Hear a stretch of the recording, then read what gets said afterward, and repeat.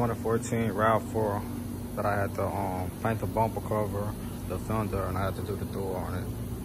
It's a bumper cover right here.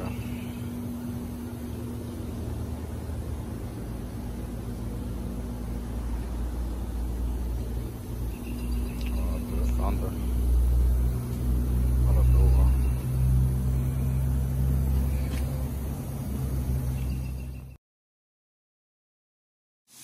The owner of James Body Shop itself.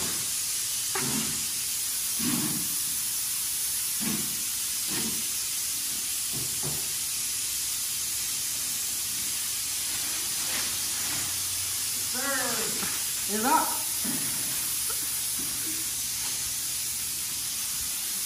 You think you're gonna paint it today? Think you're gonna paint it today?